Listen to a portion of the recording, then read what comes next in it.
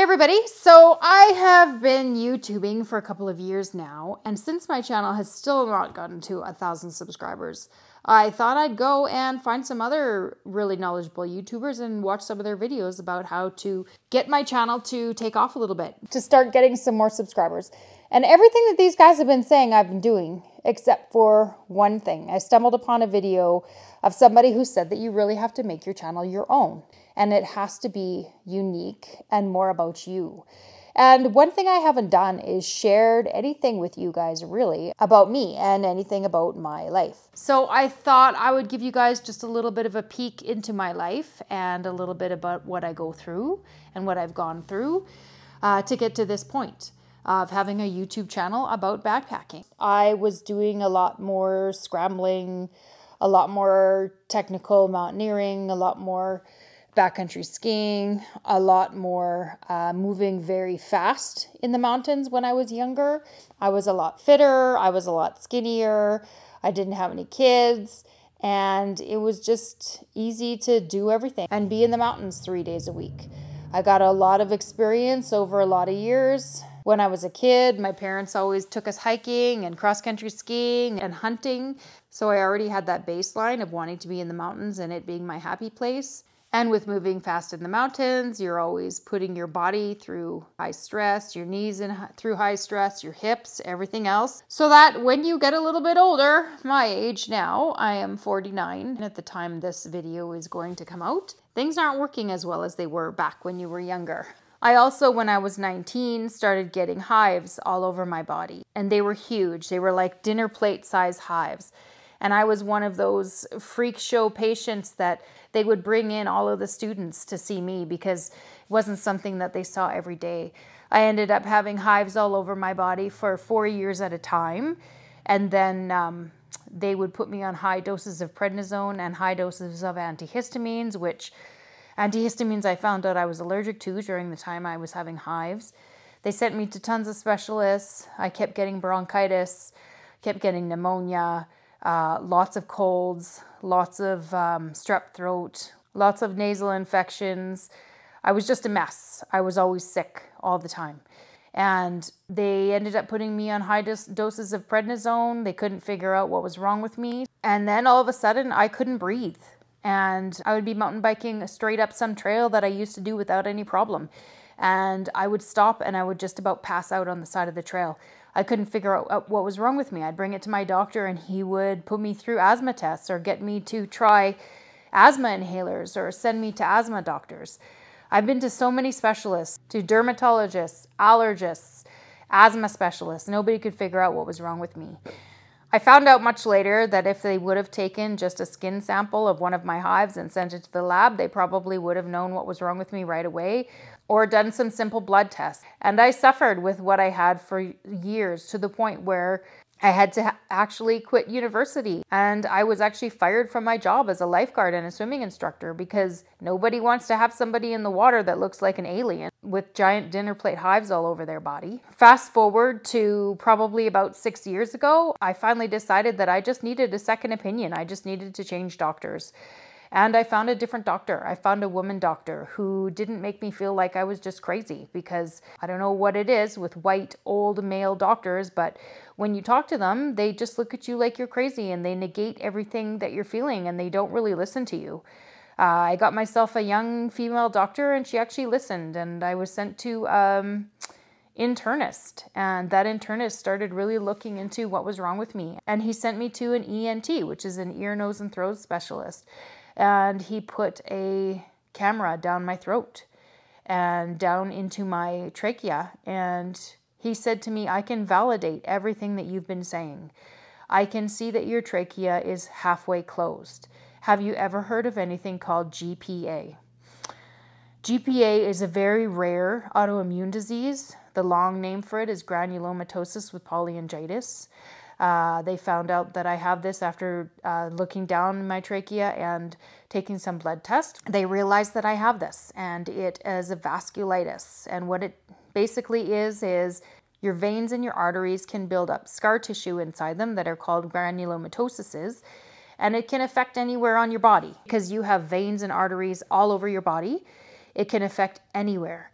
It usually shows up in your airways, so in your nose, in your throat, uh, in your lungs.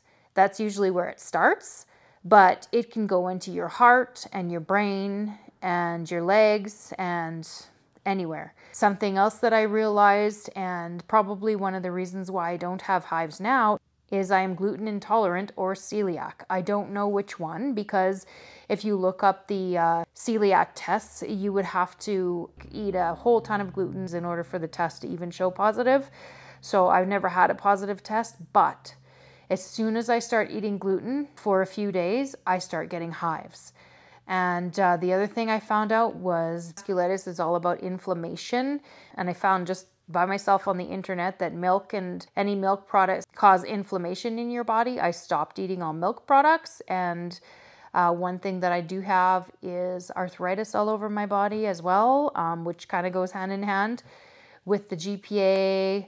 Eliminating milk from my diet decreases the inflammation from my arthritis so much that I am still able to weight train, I'm still able to go mountain biking, I'm still able to go hiking, all of these things. If I eat milk after two days of eating milk, I can hardly walk on my feet. That's how bad the pain is. So I have learned some things on my own, uh, like the gluten and the milk, but I was also on high doses of prednisone when I was having my hives, and prednisone is actually a treatment for GPA. It's not a good treatment, there are others, which I'm on now, but because it was a treatment of GPA and can put you in remission, I believe that that's why I was having hives for like four years and then two years off because I would probably go into remission. And then they would come back and then they'd put me on high doses of prednisone again. And then I would eventually go into remission again. And I went through those cycles. And without them knowing that I had GPA, they were treating me for GPA. But there's lots better treatments for GPA now, and I am taking one, and it seems to be working well for me and keeping me in remission. There are a lot of people who don't respond well to the treatment and have to take other treatments and um, end up with needing heart transplants or kidney transplants. And they, they definitely can't work and they can't go mountain biking, they can't go hiking, they can't do all of the things that I still do. And so I feel incredibly lucky. And yes, there are people with way worse things than me in this world. There's people dying of cancer. There's people, you know, with heart disease. There's people all over the place that have much worse conditions than I do. Um, but I just thought I'd let you guys know what I'm dealing with and, and why I do more backpacking now rather than the mountaineering and stuff that I used to do. That has a lot to do with having kids as well and a lot to do with, you know, that took them a long time to figure out what was wrong with me. So I ended up gaining quite a bit of weight in that time and the prednisone really messed with my hormones. So I am, you know, 30 pounds, 40 pounds heavier than I should be right now. And I unfortunately have never been able to lose that weight despite hiking, despite, you know, walking every day, despite uh, weight training three days a week. So that's something that I'm really working on. Um, I would love to, now that my kids are a little bit older, to get back into the things I used to do, like mountaineering and backcountry skiing. I actually just bought myself some new backcountry skis and bindings, and I haven't even mounted the bindings yet, and new boots. So hopefully, you guys are going to see a little bit more of that. And uh, that's just where I'm at in life. That's why this channel has been more about backpacking and little bit of mountain biking thrown in and a little bit of bike packing because I had to take it a little bit easier for a while uh, until they figured out what was going on with my health. And I still have to be very kind to my body. And it's been a long process of trying to accept myself and trying to accept where I'm at and that I'm not you know, super fast anymore. I can't go and try and run up and down every mountain and uh, beat the time in the scrambles book anymore. I can't do all of those things as fast and as furiously as I used to. So here I am. And uh, this was really raw and really open.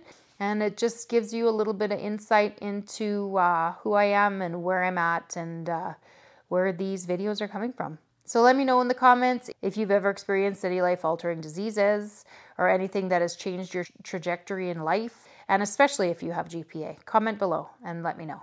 And I'm just feeling so grateful that I'm able to have a YouTube channel, that I'm able to continue doing the things that I'm doing. And you'll see me in my videos getting a little bit crazy and yahooing and laughing really hard and loving where I'm at. But that's just a part of just being so grateful that I'm still here and so grateful that I can still raise my kids and still be healthy enough to do these things. And every day is a gift. Thanks so much. And uh, hopefully, you enjoyed getting raw and getting real with me.